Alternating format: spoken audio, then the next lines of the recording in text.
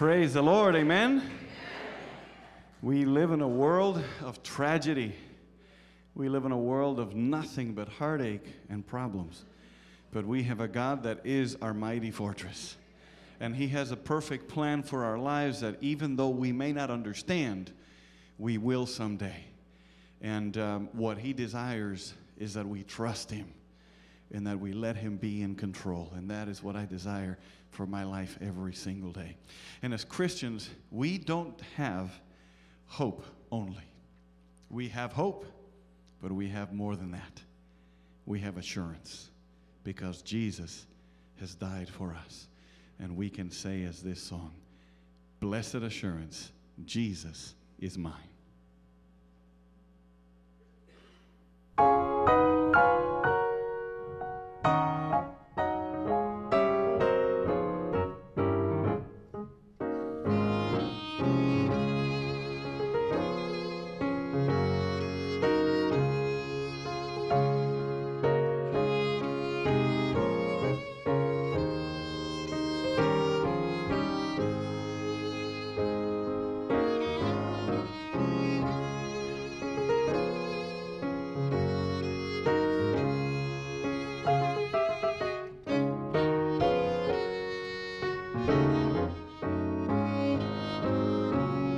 You sing with me?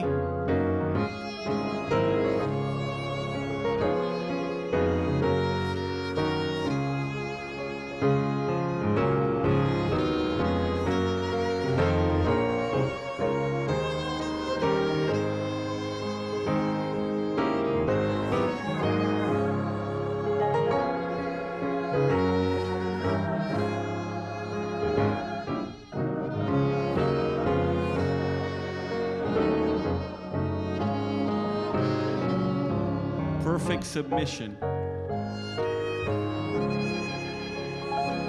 All is at rest.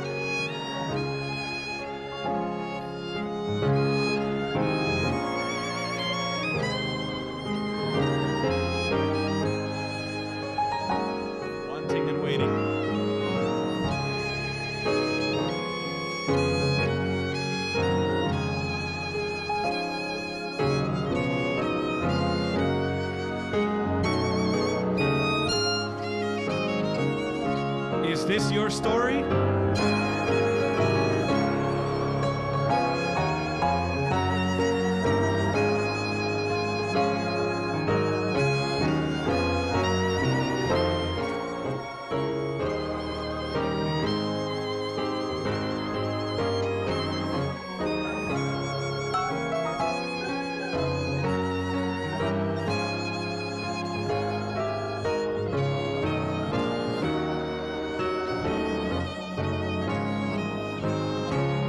Thank you.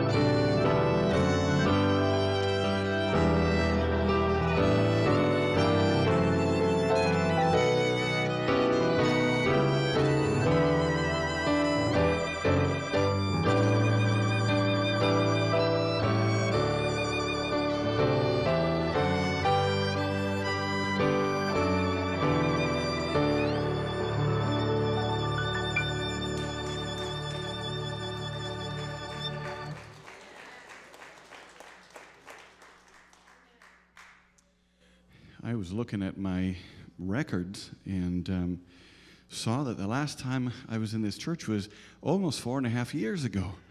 Um, and it is really wonderful to be back. And I want to share with you something exciting, uh, recent, and personal uh, that has happened uh, since the last time I was here. But first, I want to say that in 1997, I got married. And uh, of course, that's not news because it's been a long time. Um, and I am certain that when people get married, the last thing they think about is something is going to go wrong, right? Because weddings are such happy and joyous occasions. But something did go wrong. And seven years later, we got divorced. And I went through the most painful and difficult years of my life. In fact, it seemed like it was never going to end. There were days when I couldn't get out of bed, weeks when I didn't eat and I didn't notice and it didn't matter. The phone would ring and I was afraid to answer it because I know it was people calling to find out what was going on. Some with good intentions and others not so good intentions. And then I would stand up to do a concert or a worship service or a presentation. And it was as if somebody was standing behind me, whispering in my ear, What are you doing here? How can you talk to people about Jesus when your life is a mess and you're a bad example? And I got to the point where I was afraid of standing up to play and to speak. And I thought maybe I should get a real job. Maybe I should do something low key. And it almost happened. I almost gave it all up. I was in a church in Oregon, as a matter of fact, on a morning presenting a worship service, except that this was a mega church. You've seen them on television, right? The ones with flashing lights and smoke machines and big stages. And there was a big stage and there was a huge praise team. The, the people was they, they were up on their feet singing. The pastors were seated at the platform and they were waiting for me. I was supposed to be up on the stage because it was my turn to go up. But as I, I, I was in the bathroom, crying, I was so afraid. I thought, I can't. I can't go up there. I'm going to fall apart. I'm just going to find my violin case, put the violin away, run out of this place, and never ever play again. And it was at that moment that I heard a voice that said, Go out there and talk to them about me because it's not about you. And as time went by, the Lord healed my heart. It seemed like it took forever, but He did. And three years ago, I was in Charlotte, North Carolina on the weekend of Mother's Day. That's where my mother lives. And so I scheduled my concerts in that area so that I could be with her. And my last presentation ended at noon on Sunday. So the rest of the day I was able to spend with her, and I took her out to dinner. And we had a long and wonderful time and conversation that late afternoon, early evening. And one of the things I remember saying to her was, Mom, I've decided that I'm never going to get married again. It was too difficult and painful. I said, You know, I'm just going to marry my violin.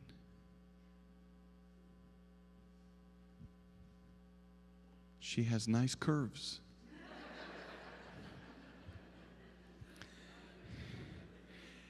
And she only talks back when I tell her to. At a concert recently, a, married man said amen after that statement. And I heard later that the ride home was life changing for him. well, I finished talking, and when I finished, my mother said, Son, it's okay if you feel this way, but don't limit God if He wants to do something else in your life. And I thought, that is so like my mother. I dismissed the statement, but apparently God did want to do something else in my life. You see, in July of 2010, I had gone to Washington, D.C. for a weekend of concerts. And at the end of the first concert, as I greeted people in the back, a young lady with a beautiful smile came to say hello. And she took a CD and we exchanged just a few words. And then she walked away a few feet to a circle of her friends. And they began talking people came to the table and they continued talking, and I overheard what they were saying. And so when things kind of quieted down here, I went over to that circle and I joined the conversation briefly and interjected something, and then I came back to the table, and that was it. Well, four months later, I got a friend request from Rochelle on Facebook. Have you heard of Facebook? Just checking. And I remembered her. She had a beautiful smile and a very peculiar and distinct last name. And so I said, Rochelle, how are you? How are things going? What are you up to? And so she kind of filled me in a little bit briefly. And one of the things she said was, I have a sister that lives in Atlanta, and she has two small boys, and I'm going to go visit them soon. And I said, Really? Well, I live in Chattanooga, and Chattanooga is not too far from Atlanta. When you're going to go, let me know because if I'm around, I would love to see you. Maybe we can get together. And she said, That sounds great. So she gave me the date, and it happened that I was going to be home. So at that point, I went to her Facebook page because I wanted to learn about her. I wanted to see what kinds of things she liked so that I may suggest a restaurant or an activity that she would like. And I looked at her photo albums and I saw that she loves sports. There were pictures of her playing volleyball, pictures of her running races. In fact, she'd run a marathon not long before. But it wasn't just that. She had been into sports seriously. At one point, she had been a professional women's football player. Now, I must admit, I didn't even know that the sport existed. And so I was intrigued. I went to see more information about her career. She had been a running back. She played for 11 years, rushed for 14,000 yards. She was a Super Bowl MVP and champion. I saw pictures of her in action, and when I saw this picture, I was disturbed.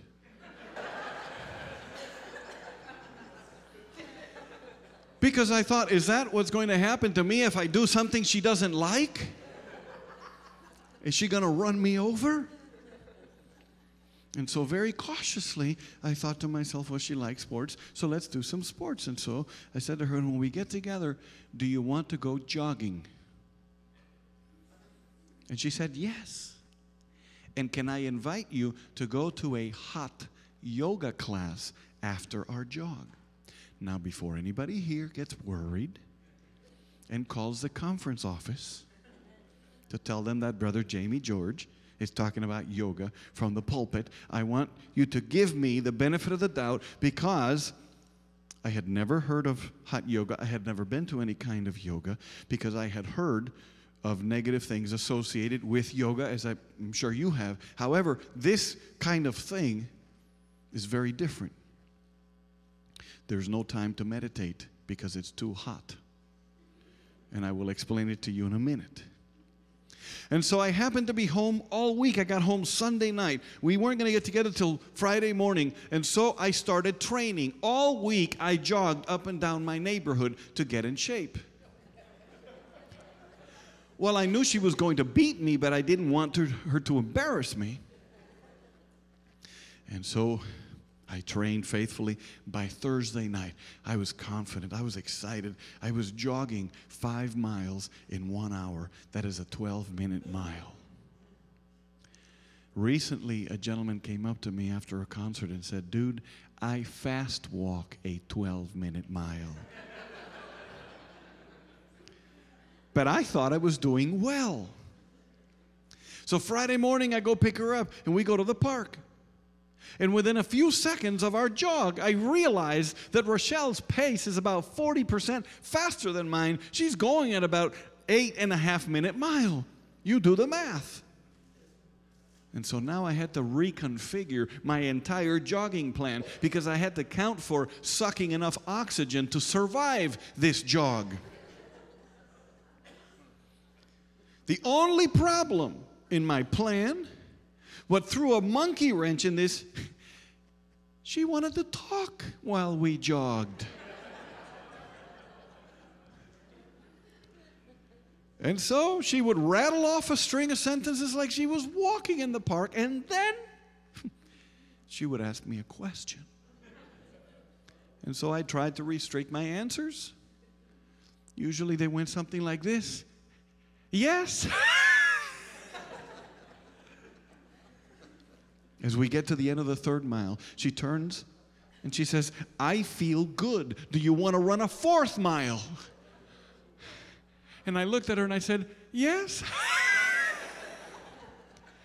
but we're going to miss our hot yoga class. and she said, You're right. And I thought, Thank you, Lord. And so we stopped and went over to the studio. I walked inside the studio. It was 110 degrees with 70% humidity. And we spent 90 minutes inside that oven doing nonstop heart pumping exercises. I was covered in sweat from head to toe. I lost 1,200 calories. By the end of the 30th minute, I couldn't understand what the instructor was saying. My mind was starting to run around in circles. By the 60th minute, I looked up and I thought I saw the heavens opening and Jesus was coming back. By the 90th minute, when I laid on that mat, the whole room spun. I was traumatized. In fact, when I left that place that afternoon, I said to myself, I can't handle this chick. And so I didn't speak to Rochelle again uh, for 18 months. And then a year and a half later, one afternoon, I went to Facebook, and on the news feed popped up a picture of Rochelle. She was on vacation and she had taken a photograph doing one of the same postures that had nearly killed me a year and a half before. And I had such a visceral reaction to that photograph that I got on my mobile phone and I sent her a text message immediately. And the text message said, I hope you're having a good time. But you can't read tone in text. And she thought I was saying, I hope you're having a good time. And so she texts back, I am. I hope you are too. And then I thought, wait a minute, I'm going back to DC in two months. So I said, listen, I'm, I'm, I'm going to be in your area. I have several concerts. I'd love to invite you to one of them. If you have time, would you consider going jogging and then go to a hot yoga class? And then I thought, why am I saying this? Well, I went, all these things worked out and happened. And when the weekend was over, I went home and I called her and I said, Rochelle, I don't know what you think of me or if you think anything, but I'm going to pursue you until you tell me to go away. And so every day, for about five or ten minutes, we text. Two weeks later, she was going back to Atlanta to see her sister for Thanksgiving, and I had a concert at home, so I invited her to the concert, and she brought a part of her family with her. And the morning after the concert, we sat down to talk, and I said, Listen, I have been a failure at all my relationships in the past. And I don't want to keep making the same mistakes I've made before. Instead of jumping into a relationship and then finding out things aren't working, I want to find out first if things are going to work or not. So I have a list of questions for you. If you answer them correctly, we can keep talking. She wasn't upset. She pulled out a notebook from her purse and said, I brought a list of questions for you too. So one asked and the other one answered. And when we finished, it was what the other person was looking for on paper. And so we knelt down and we prayed.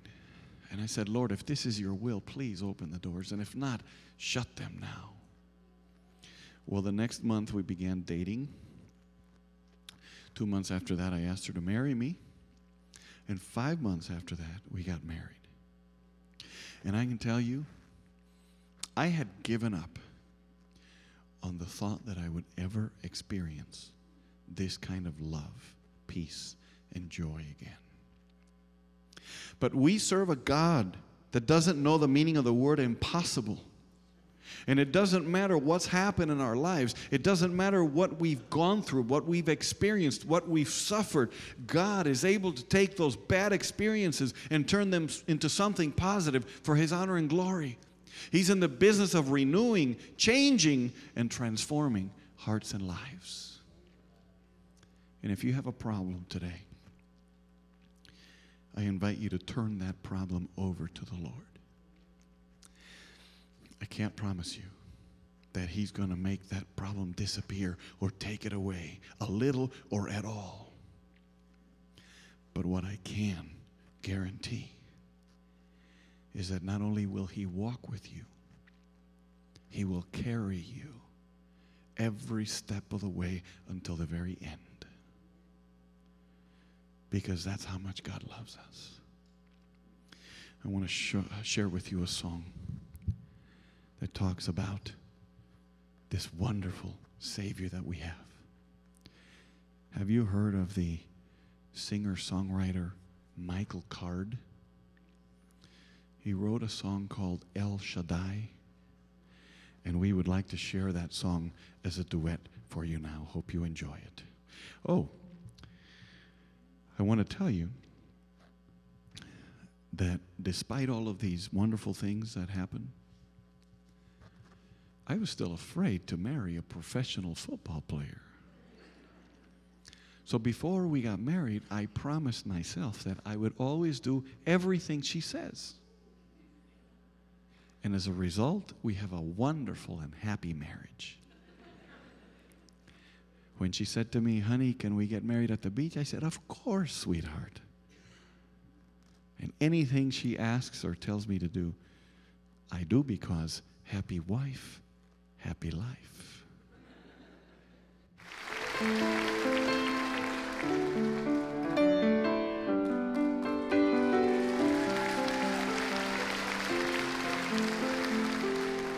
Okay, if you clapped, you have to sing. El Shaddai, El Shaddai, El Elyon Adonai.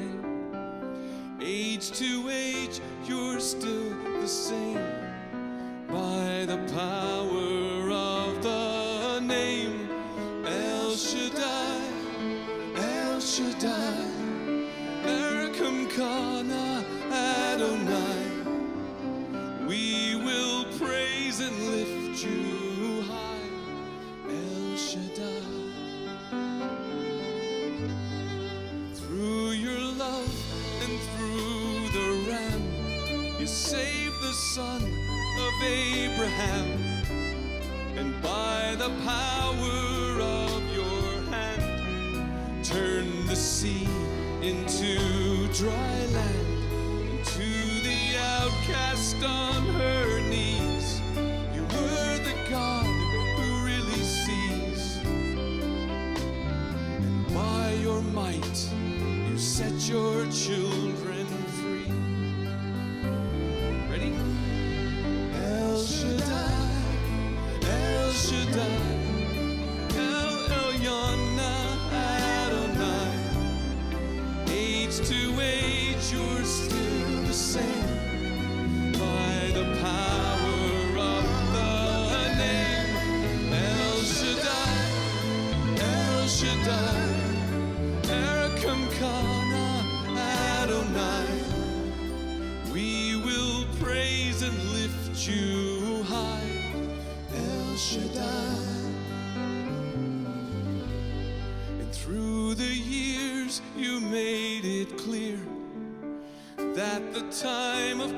Christ was near. Though the people failed to see what Messiah ought to be, and though your word contained the plan, they just could not understand. Your most awesome work was done through the frailty of your son. Shaddai, El Shaddai, El Elyon Adonai. Age to age, you're still the same. By the power of the name, El Shaddai, El Shaddai, Erkamka na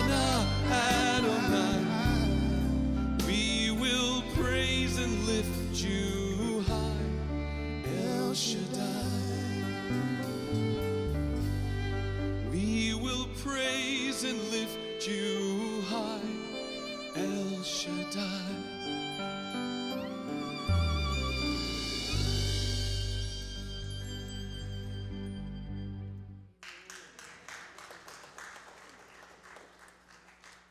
Well, as we get ready to wrap up our service uh, today, I want to thank this church for the opportunity to be here once again.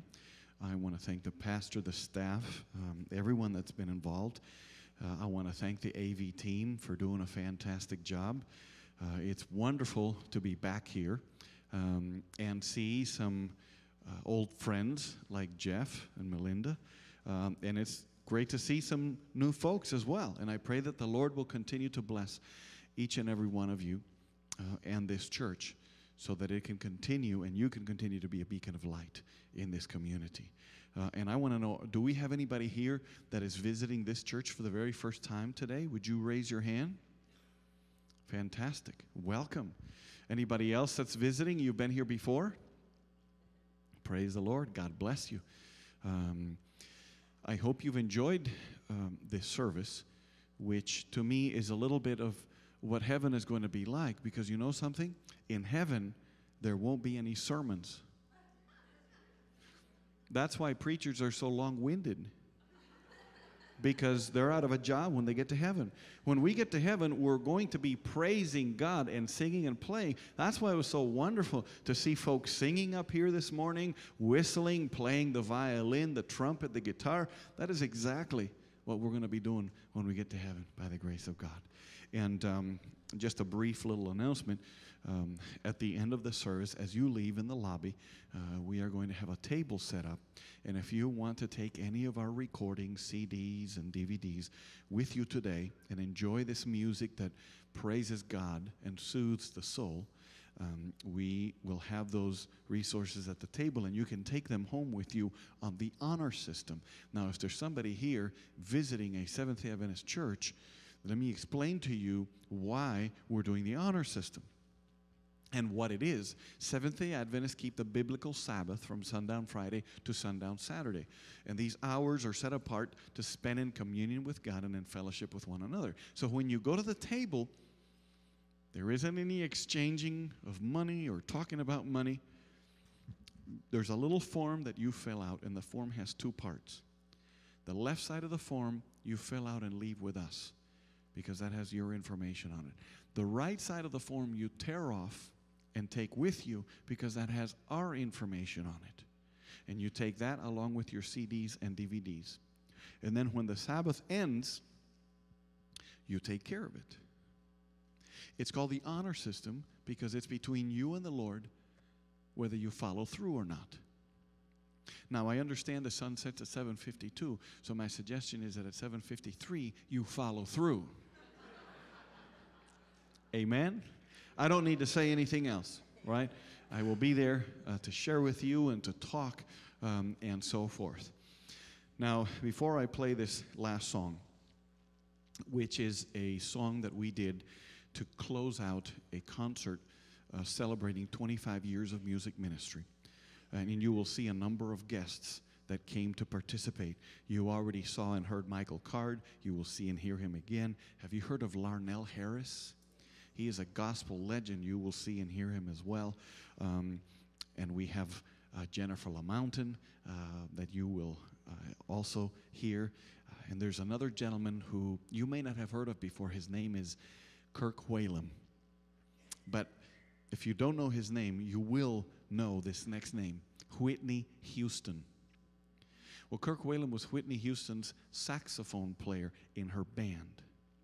And I share this with you not because he played in her band or because he's won a Grammy or because he's the best gospel saxophone player in the world. No, it's because he's a Christian and he's an ordained minister. And he shared with me during this weekend that when they were on the road doing some of those huge concerts around the world, that sometimes she would come and knock at the door of his hotel room and say, Kirk, would you pray and study the Bible with me tonight? I need Jesus. And it made me think about the fact that as he witnessed to and ministered to her, we also have the same opportunity to share the love of Jesus with other people in our community, in our neighborhood, at our work. So, my desire is that we would leave this place excited to do exactly just that. And speaking of sharing hope and salvation, last year I got a call from a friend of mine. His name is Pastor Shawn Boonstra. You may have heard of him before. And he said, I want to share something with you. And when, when Pastor Shawn speaks, you listen. And so he said, I am an ambassador for an organization that is changing the lives of thousands of boys and girls in India, Myanmar, and Bangladesh. What they're doing is they are sending them to Christian schools and giving them an opportunity to have a future, to learn about Jesus, and give them an education so that they can share with the world. And I said, I'm very interested. And so in August of last year, just a few months ago, I went to India and I was there for a week learning about the work that Asian Aid is doing. And I want to share with you this short video about this visit and experience.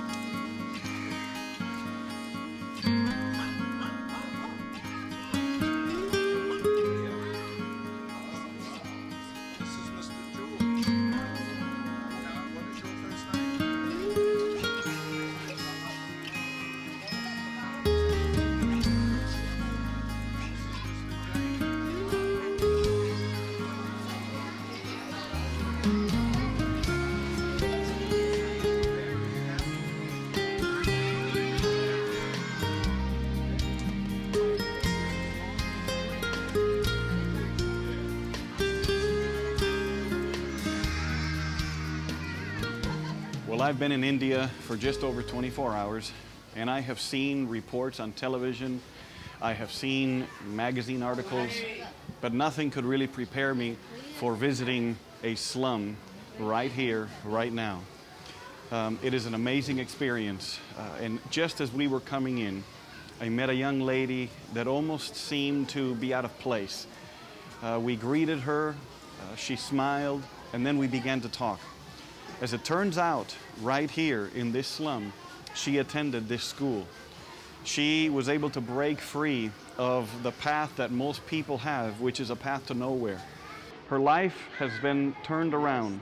Her life has been totally different than what she might be if she didn't have the hope of attending this school right here in this slum. The story of this young lady is exactly why I'm here and why we're here. Her story is the story of hope. Her story is the story of opportunity, which is what this school does for the children and the young people that live in this slum. I am in the town of Vijayanagram, which is about an hour's drive from the city of Vizag, and I'm standing on what is part of the new girls' dormitory. It is really a beautiful facility, as you can see. Over here, you can see the structure that is going to be the new boys' dorm. They've actually been sitting, sleeping, learning, and eating in the church.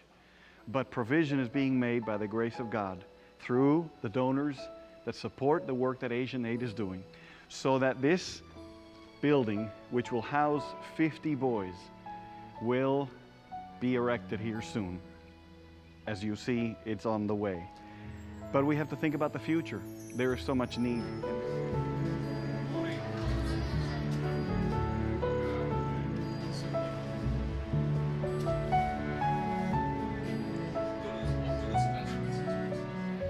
I am sitting in a classroom where more than 20 young students are able to learn.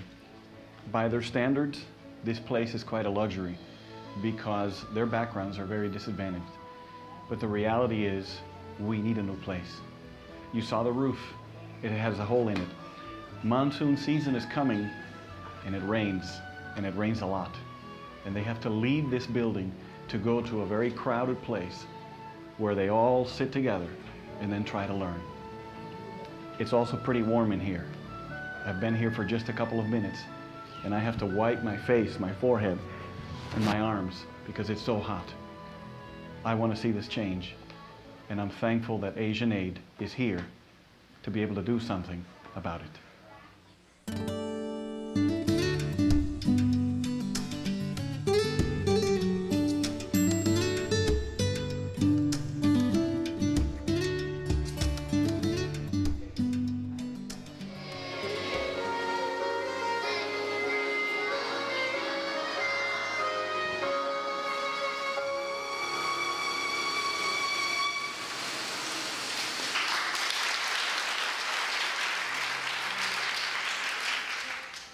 Been here at the blind school for just a few hours, but in hearing them sing, I have been moved to tears.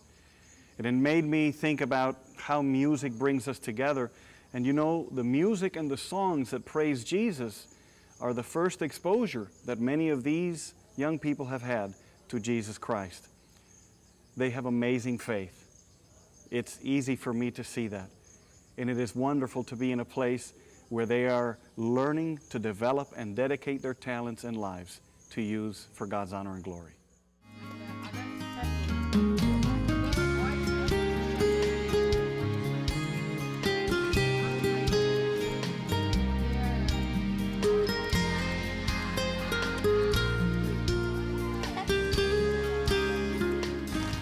I am here overlooking the beautiful campus of Sunrise Home, a place in the middle of nowhere in Karada Village. You know, when I was growing up, I had a wonderful family.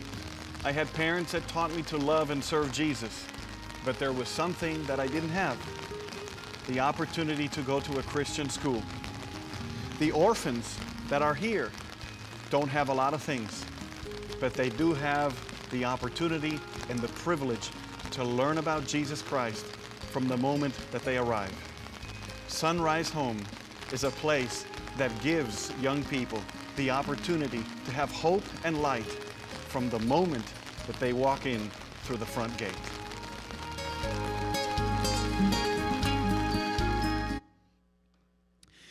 I have visited more than 50 countries around the world, and I know what poverty is, but I had never seen in my life what I saw when I got to India. And it broke my heart. And it made me realize just how blessed and fortunate I am and we are. When I walked through that corridor in that slum and I met that beautiful young lady at the beginning, I started talking to her. And I could see that this girl has a passion for Jesus Christ. Both of her parents have AIDS. And so her future looked pretty bleak. But Asian Aid was able to sponsor this girl to attend that school right there in the slum. She graduated after eight years. She went to another high school that Asian Aid supports. And now she's in college studying to be a nurse. And I said, What are you going to do when she finished? She said, I'm going to come back here and be able to care for my parents and help the people of this slum that need medical attention. When we went to the school with the holes in the roof, I don't know if you noticed, those sheets of roofing are asbestos. And we are in the process of trying to change that out so that they can have a clean environment to learn. The holes make it impossible during monsoon season for them to be in those classrooms anyway, and they're extremely hot. But those kids are so grateful because they are being sponsored. Their food is taken care of, their clothing, their medical care, their education. And then when we went to the blind school, I found out that those kids that are there are thrown out of their villages and their towns and discarded because of their imperfections and their handicaps, and they are left to die. But they are brought to this blind school where they're taught, they're given an education, they develop their talents, they play instruments, they sing, and then they have a vocation, and they go and they leave, and they can actually do something with their lives as well as share Jesus with others. And then the orphanage. The orphanage sits in an area that is infested with poisonous snakes. And people die all around all the time from these snake bites. But the director of the orphanage told me that there has never been one snake found inside the grounds of the orphanage. And I couldn't help but wonder if maybe there were guardian angels standing around that property, guarding that location so that nobody would be bitten by those snakes. And every week, police bring children who have been abandoned and left to die to the orphanage in hopes that the orphanage will take those children. When I came back from that trip, I really felt that the Lord was calling me to do something to help Asian Aid spread the word that they are making a difference in the lives of thousands of children currently being sponsored all over India, Myanmar, and Bangladesh. And my desire was that I felt that one weekend a month I should dedicate in my concerts to let people know about Asian Aid so that they could pray for Asian Aid and they could pray for these children and maybe get involved in sponsoring them. And I have the personal goal of having 400 children sponsored this year. My wife and I have sponsored 11 of them. And once a month, as we go to the different churches, we invite people to perhaps give hope and, and life to these children that would otherwise probably die soon. For $38 a month, you can provide an education, medical care, food, and clothing for these children in the slum schools, in the high schools, in the orphanage, in the blind school. And I wonder today if there may be 13 people here willing to sponsor a child for a year. As I start to play this last song, deacons are going to come forward and share with you a little envelope that says Asian Aid. And I wonder if you would pray. You can go to the back of the table next to mine. You're going to see Sana and Steve, two of the most passionate ambassadors because they have been to India and they are sponsoring children themselves. You can actually pick up and choose the child that you want to sponsor today. And during the course of this year, you will get correspondence from that child letting you know how they're doing and how you're making a difference in their lives. I wonder if you would consider that today as I play this song. May we be reminded of the fact that we have a lot to be thankful for and that the resources and the blessings that God gives us are not so that we can just sit idly and enjoy them necessarily, but put them to use in His work to make a difference in other people's lives. I look forward to that day when there will be no more hunger, there will be no more pain, sorrow, sickness, persecution, suffering. Until that day, may we be faithful to the Lord in sharing His gospel around the world. Thank you for being here today, and may God bless you.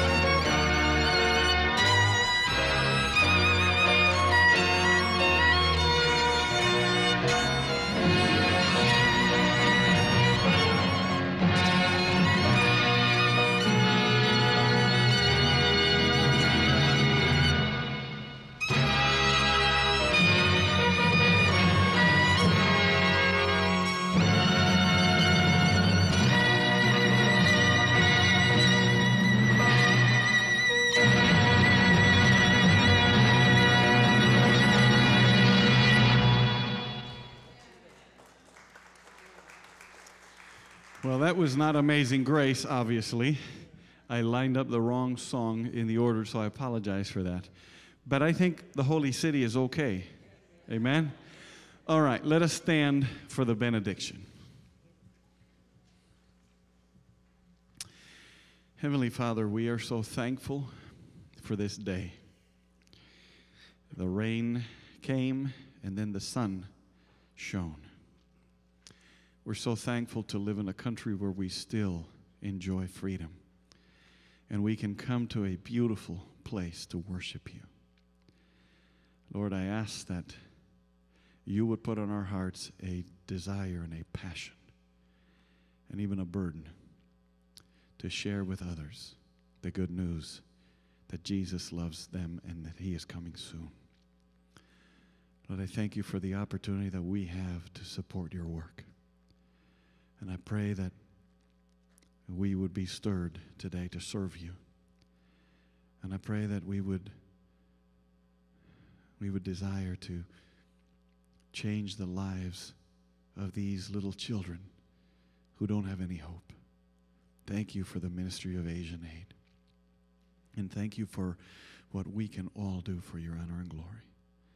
Lord, may we leave this place with joy, with gratitude, and with a desire to be examples and living witnesses for you. In Jesus' name we pray. Amen.